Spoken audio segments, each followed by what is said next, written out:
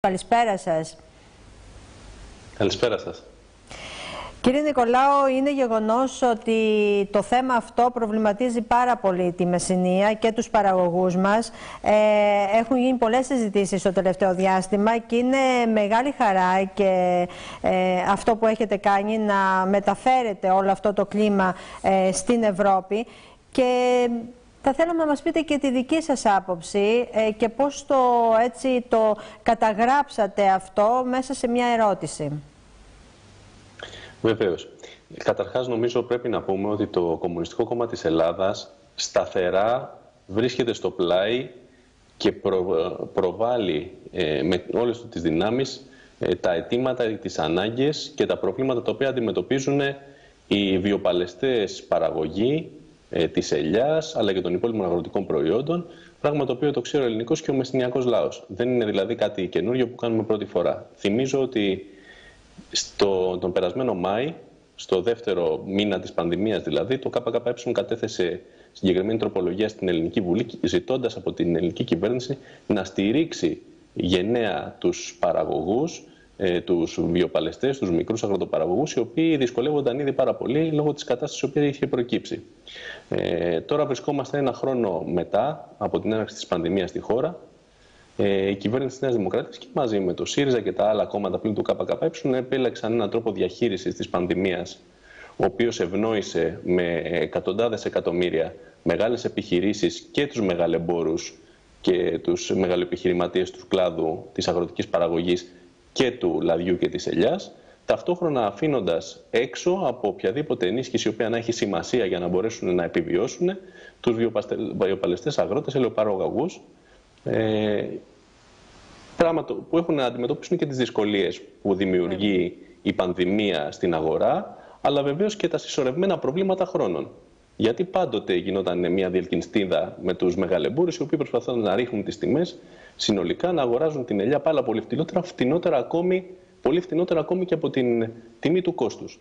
Άρα λοιπόν, ε, συνεχίζοντας ε, σε αυτή τη γραμμή, εμείς τοποθετήσαμε το ζήτημα ε, στην Ευρωπαϊκή Επιτροπή με τη μορφή ερώτησης, δίνοντας δηλαδή συνέχεια σε αυτόν τον αγώνα που έχουμε κάνει για να ενισχυθούν οι φτωχοί βιοπαλαιστές παραγωγοί ε, της ελιάς και συνολικότερα. Και βάλαμε δύο ζητήματα στην πραγματικότητα. Ποια είναι αυτά τα δύο ζητήματα; Ότι με τον τρόπο με τον οποίο συνεχίζει η κυβέρνηση της Νέας Δημοκρατίας, η προηγούμενη του ΣΥΡΙΖΑ και οι άλλες κυβερνήσεις να προωθούν τα μέτρα της κοινής αγροτικής πολιτικής της Ευρωπαϊκής Ένωσης έχουν δημιουργηθεί δύο πάρα πολύ σοβαρά προβλήματα. Ποια είναι αυτά για τους παραγωγούς; Πρώτον, επιτρέπονται αθρώα οι εισαγωγές ελιών ε, οι οποίες μάλιστα πολλούνται ή τις εμπορεύονται από τρίτες χώρες και στη χώρα μας, σαν ελιές καλαμάτας ή και ελιές καλαμών, τη στιγμή που δεν έχει εξασφαλιστεί η διάθεση της εγχώριας παραγωγής. Ε, αυτό είναι ένα, ένα φαινόμενο το οποίο το αξιοποιούν οι εμποροβιομήχανοι για να ενισχύσουν την κερδοφορία τους και να εκμεταλλευτούν τη χαμηλότερη τιμή αυτών των προϊόντων, έτσι ώστε να ρίξουν και άλλο τις τιμές της ντόπιας παραγωγής. Με αποτέλεσμα, είδαμε τα φαινόμενα να πετιούνται ε, με τα τσουβάλια, οι ντόπιες ελιές στους σκουπιδότοπους.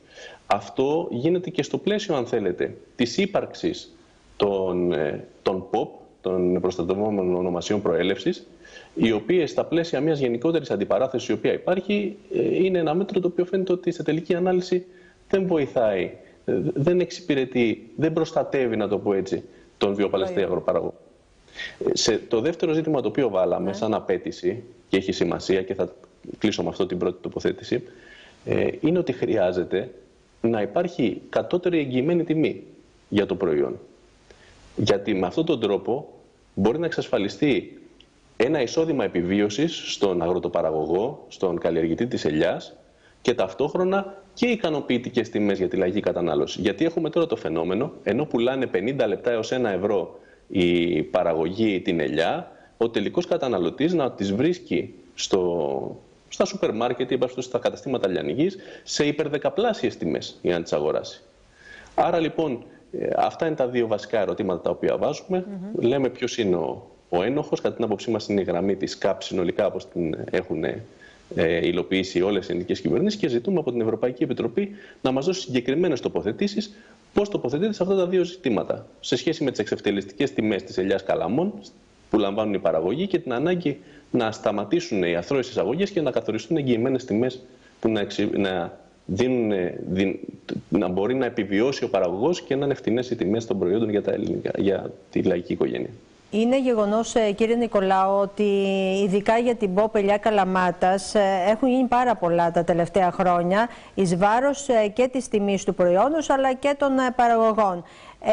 και βλέπουμε λοιπόν να, να χρησιμοποιούν το όνομα να κερδίζουν όπως είπατε και εσείς και από άλλες χώρες και από άλλες περιοχές και οι παραγωγοί που καλλιεργούν ε, το, το προϊόν αυτό να μένουν απ' έξω και να ε, πετούν στις χωματερές και στα, στα σκουπίδια της ελιές τους. Είναι μια τραγική κατάσταση, πρέπει να βρεθεί λύση ε, και δεν ξέρω πώς μπορεί να αντιμετωπιστεί. Εσείς τι λέτε, εκτιμάτε ότι θα βρεθεί λύση πάνω σε αυτό; Κοιτάξτε, αυτό για μας δεν είναι ένα ζήτημα το οποίο έχει κρυθεί από αυτή τη σκοπιά το, το προσεγγίζουμε εμείς, σαν Κομμουνιστικό Κόμμα της Ελλάδας. Αφενός, αξιοποιούμε όλες τις δυνάμεις εμείς που έχουμε σαν κόμμα για να αναδείξουμε τα προβλήματα και να απαιτήσουμε λύσεις. Δεν είναι μόνο τον περασμένο Μάη που το ΚΚΕ κατέθεσε τροπολογία για να ενισχυθούν οι βιοπαλαιστές αγρότες και πάλι πριν από ένα μήνα, ε, πριν από ένα μισή μήνα, στις αρχές ε, του Γενάρη, καταθέσαμε αντίστοιχες προτάσεις, καλώντας την κυβέρνηση που ενίσχυσε με πάρα πολλά χρήματα, δεκάδες εκατομμύρια, μεγαλοξενοδόχους, ε, μεγαλοεπενδυτές στην ενέργεια, ε, σε άλλους κλάδους, στα ψηφιακά, στη Microsoft, να ενισχύσει τους βιοπαλαιστές αγρότες ξανά, έτσι ώστε να μπορούν να επιβιώσουν τους πολιτές και τους πολιτές των λαϊκών αγορών. Αλλά από την άλλη πλευρά, ε, αυτή η προβολή των ετοιμάτων και των μέτρων ανακούφισης που κάνει το ΚΚΕ, η ανάδειξη του ζητήματος σε όλα τα επίπεδα και στο Ελληνικό Κοινοβούλιο και στο Ευρωκοινοβούλιο, ε, η οποία είναι αναγκαία, πρέπει να συμπληρωθεί με την οργανωμένη πάλι των ίδιων των παραγωγών ε, μέσα από τους συλλόγους τους, έτσι ώστε να απαιτήσουν από την κυβέρνηση αυτά τα μέτρα προστασίας. Υπάρχουν λύσεις, τέτοιες λύσεις όπως είναι οι κατώτατες εγγυημένες τιμές που να εξασφαλίζουν ένα εισόδημα επιβίωσης για τους παραγωγούς, ε, το να σταματήσουν οι αθρώες εισαγωγές από άλλες χώρες όπως είναι η Αίγυπτος ή η Τουρκία αλλιών, οι οποίες στη συνέχεια πολλούνται είτε σαν βρώσιμη ελιά είτε πηγαίνουν για ε, να γίνουν λάδι και πολλούνται σαν ελιές ή λάδι καλαμόνι κτλ. Είναι πράγματα τα οποία μπορούν σήμερα να απαιτηθούν και μπορούν να δώσουν μια ανακούφιση, να μπορέσει να επιβιώσει ο βιοπαλαιστής αγρότης, ο οποίος έχει δει το εισόδημά του όλα τα προηγούμενα χρόνια να κατρακυλά. Γιατί να θυμίσω ότι και πριν την πανδημία, κάθε φορά που ξεκινάει η ελαιοκομική περίοδος, γίνεται πραγματικά μια μεγάλη αντιπαράθεση για την τιμή. Και σχεδόν πάντα, ανεξάρτητα από το αν έχεις πανδημία ή όχι, ρηγμένος είναι και ο βιοπαλαιστής αγρότης, ο μικρός παραγωγός από τη μία και ο καταναλωτής, ο αποδέκτης του προϊόντος από την άλλη. Και αυτοί Γιατί βλέπουμε, βλέπουμε την ψαλίδα να είναι μεγάλη από την ε, παραγωγή στην κατανάλωση. Στο ράφι είναι πολύ υψηλή η τιμή, ενώ ο παραγωγός εισπράττει πολύ χαμηλά. Ακριβώς. Και βεβαίως εδώ να σημειώσω ναι. ότι το ζήτημα του λαδιού είναι και ζήτημα το οποίο απασχόλησε πάρα πολύ σε ευρωπαϊκό επίπεδο. Είναι μια πάρα πολύ ανταγωνιστική αγορά για τους μεγαλοεπιχειρηματίες του κλάδου. Ε, η... Αυτό που λέμε η μεταβατική ΚΑΠ, αν θέλετε, mm. κοινή αγροτική πολιτική, γιατί βγαίνουμε από ένα, μία δέσμη και θα μπούμε σε μία δεύτερη δέσμη τώρα μέχρι το 27, είχε συγκεκριμένες ρυθμίσεις οι οποίες ε, τις οποίες τις ψήφισαν όλα τα κόμματα τα οποία εκπροσωπούνται στο Ευρωκοινοβούλιο εκτός από το ΚΚΕ, οι οποίες έβαζαν το ζήτημα να μην υπάρχει εγγύηση κατώτατης τιμής ούτε καν στην πρώτη εμπορία. Δηλαδή, σε αυτό το οποίο ο παραγωγός διαθέτει στον ε, μεσάζοντας, αυτόν ο οποίος αγοράζει το προϊόν, για να το διαθέσει στη συνέχεια τελική αγορά. Καταλαβαίνετε ότι είναι ε, μεγάλος ο ανταγωνισμός ο οποίος γίνεται μεταξύ των ελαιοπαραγωγικών χωρών, ε, λεωπαραγωγών χωρών, της Ελλάδας, της Ιταλίας, της Ισπανίας και πάντα με μία κατεύθυνση να ενισχυθούν ε, οι μεγάλοι έμποροι και ε, οι μεγάλοι επιχειρηματίες του κλάδου. Ε, πρέπει να το πάρουν υπόψη αυτό οι βιοπαλαιστές αγρότες. δεν είναι σπίτι κοινό των λαών η Ευρωπαϊκή Ένωση. Όλα τα μέτρα τα οποία παίρνει τα βλέπουν και τα έχουν δει στο πώς το εισόδημα, οι καλλιέργειες και τα χωράφια τους ε, σε τι κατάσταση βρίσκονται τώρα και σε τι κατάσταση βρίσκονταν πριν από κάποια χρόνια. Και εκεί εμείς καλούμε σαν ΚΚΕ τη συσπήρωση και την πάλη ενάντια σε αυτά τα μέτρα για ουσιαστικά μέτρα προστασίας των ε, βιοπαλαιστών αγροτών των καταναλωτών και βεβαίως για αυτά τα οποία σας ε, κατέδειξα πριν στην ε, τοποθέτησή μου. Ε, βέβαια είναι τα ζητήματα αυτά που αναφέρατε, όπως η τιμή των προϊόντων, είναι η προστασία του προϊόντος, γιατί όπως είπατε και εσείς βαφτίζουν ελιά καλαμών, ελιά που δεν είναι ούτε καν ποικιλία καλαμάτας. Ε, όλα αυτά δεν θέλουν μια πολιτική βούληση για να αντιμετωπιστούν και να πάνε ένα βήμα μπροστά. Κοιτάξτε, ε, το θέμα είναι ότι και αυτές οι, οι συμφωνίες οι οποίες γίνονται ε, με την Ελλάδα, την Ευρωπαϊκή Ένωση αλλά και τρίτες χώρες στον αγροτικό τομέα ε, έχουν σχέση με τις συνολικότερες συμφωνίες που υπάρχουν και στις οποίες έχει ήδη δεσμευτεί η Ελλάδα στα πλαίσια των συμμαχιών ε, όπως η Ευρωπαϊκή Ένωση, στις οποίες συμμετέχουν. Άρα αυτό πρέπει να το πάρουμε υπόψη. Για μας δεν υπάρχει άλλος τρόπος καλύτερος από το να προστατευτεί ο παραγωγός αλλά και ολόκληρος ο ελληνικός λαός από το να αγωνιστεί με στόχους αυτούς τους οποίους είπαμε. Δηλαδή την κατώτερη εγγυημένη τιμή που θα εξασφαλίζει ένα εισόδημα επιβίωσης για τον παραγωγό και ταυτόχρονα να μπει φρένο στις αθρώες εισαγωγές τη στιγμή που το σύνολο σχεδόν, ένα πολύ μεγάλο κομμάτι της ελληνικής παραγωγής και της μεσηνιακής παραγωγής βρίσκεται στις αποθήκες και δεν υπάρχει διέξοδος για τον παραγωγό, αναγκάζεται δηλαδή να τη στείλει στα ζήτητα.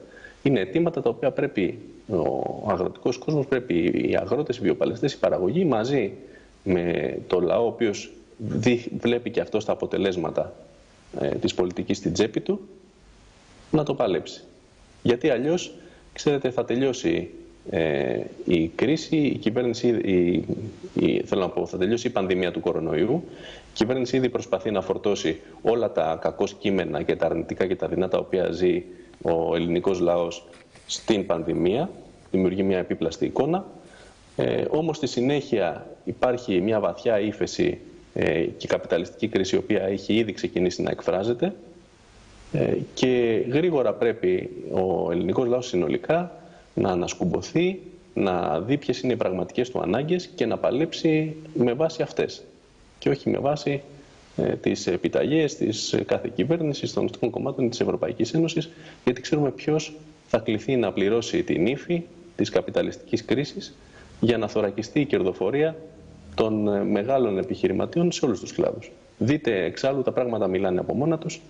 Το περιβόητο Ταμείο Ανάκαμψης της Ευρωπαϊκής Ένωσης κατευθύνεται κατά 60% η χρηματοδότηση που θα πάρει και η Ελλάδα σε δύο κλάδους. Ποιοι είναι αυτοί οι κλάδοι; Ανανεώσιμες πηγές ενέργειας, που σε όλα τα βουνά, ακόμα και σε περιοχές Natura, κάνουν τώρα, βάζουν φωτοβολταϊκά και ανεμογεννήτρες και από την άλλη στην ψηφιοποίηση της οικονομίας. Μεγάλα έργα, τα οποία αν θέλετε δεν έχουν και καμία σχέση με όλα αυτά τα δεινά και τις δυσκολίες που έζησε ο ελληνικός λαός και φέτος αλλά και τα προηγούμενα χρόνια.